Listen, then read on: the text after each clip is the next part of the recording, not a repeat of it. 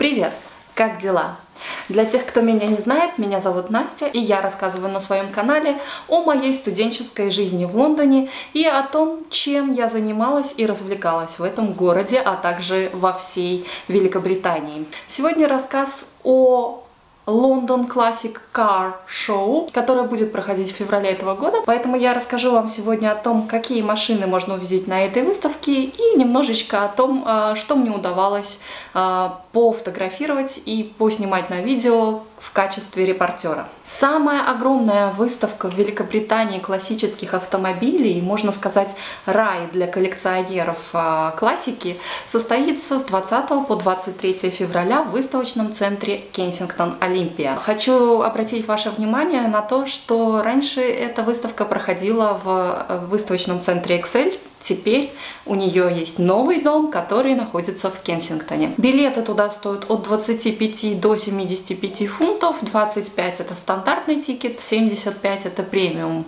билет – я же попадала туда абсолютно бесплатно в качестве прессы, потому что я работала на разные новостные агентства, а также на свой YouTube-канал Long Island, где я показывала абсолютно все события без какого-либо рассказа о нем, только с музыкой. Так что если вы не желаете слушать мои э, рассказы, пожалуйста, переходите на Long Island, там все есть только под музыку, non-comments.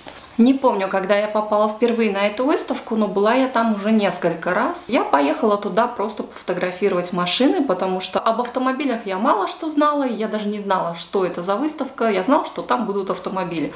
Какие, какого образца и так далее. И вообще, зачем эта выставка, не знала. Выставка, оказывается, создана для того, чтобы коллекционеры классических автомобилей, в основном это британская классика, могли выставить свои образцы и посмотреть чужие. И, возможно, что-либо прикупить. Кроме этого, там представляют свои новые автомобили и комплектующие заводы мировых автопромов. Поэтому выставка будет очень интересна специалистам, а также тем, кто интересуется автомобилями. И вот в первый раз, когда я туда поехала, я отсняла эту выставку только в фотографиях. У меня, по-моему, нету видео на с той самой выставки.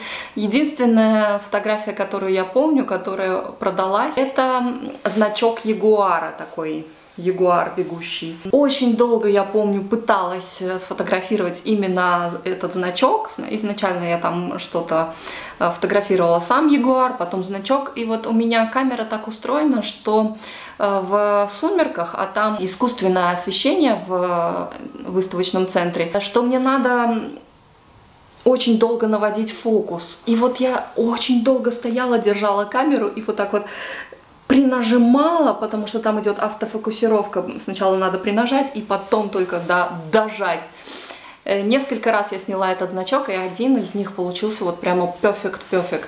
Великолепный снимок, и я его отправила на продажу. По-моему, даже э, всего лишь две фотографии я отправила на сток. И он у меня, ну, через какое-то время, через полгода только где-то продался за 20 фунтов, где-то так. И для меня это было такое, вау, надо будет еще пофоткать. Я очень люблю фотографировать всякие детальки, они не, не просто общий вид, хотя информация для тех, кто хочет заниматься репортерской деятельностью, знаете, фотографии с общими видами мероприятия больше ценятся, чем какие-либо детальки, потому что они показывают э, как бы очень много всяких деталей, которые происходили именно в тот момент. И, может быть, кому-то что-то из этих деталек в каком-то журнале или в какой-то газете именно тот момент пригодится, а не просто значок Ягуара. Но значок Ягуара, я думаю, пригодится в рекламе Ягуара или что-то типа этого. Кстати, Ягуар это же британский автомобиль, и его завод находится в Ковентри. Мы туда ездили с друзьями. На самом завод мы, конечно же, не поехали, он находится в пригороде. А вот в Ковентри есть музей, где определенная доля залов отведена именно э, производству ягуаров и всего его исторического развития. Достаточно интересный музей. О великолепном городе Ковентри и о музее я вам тоже расскажу когда настанет время. Что еще хочу сказать про Ягуар? Он попался мне в моей MBA диссертации э, в качестве примера. Один эксперт которого я опрашивала, рассказал, что оказывается именно Jaguar стал а, первой компанией, которая представила свой новый продукт. На тот момент это был Range Rover. Не помню какой классификации, но это было в 2017 году а, первое э, представление автомобиля в виртуальной реальности. То есть желающих посмотреть новейший автомобиль завели в театр, надели им очки виртуальной реальности и повели к новому автомобилю, который в реальности не находился в этом театре.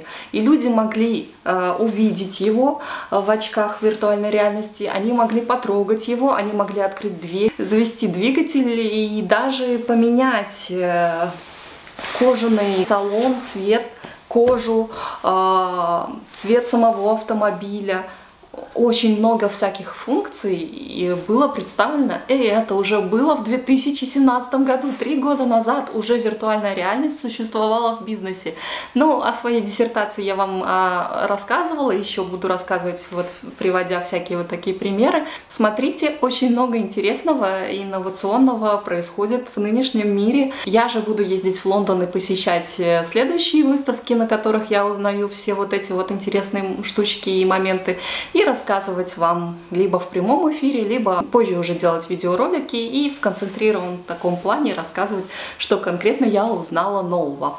И так, как я уже сказала, на выставке можно встретить э, знаменитых лиц, гонщиков, либо э, даже приезжают директора автомобильных заводов. В общем, э, я их не знаю, к сожалению, не могу сказать, но вот какие-то лица фигурировали.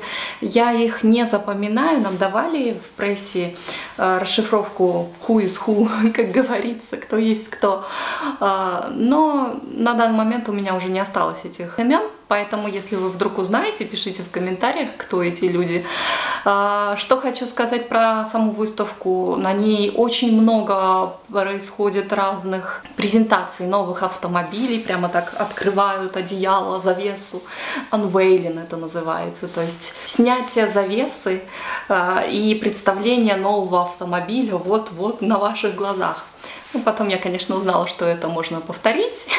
То есть э, для камеры, для прессы это все обратно запаковывается. И вот однажды я попросила, чтобы для меня лично еще раз повторили эту процедуру. Потом я была еще и на других выставках, там тоже очень много шикарнейших автомобилей открывали, э, рассказывали, показывали. Все это есть на вот таких вот автомобильных выставках, одна из которых вот классика шоу, которая проходит сейчас в феврале, другая проходит в мае или в июне.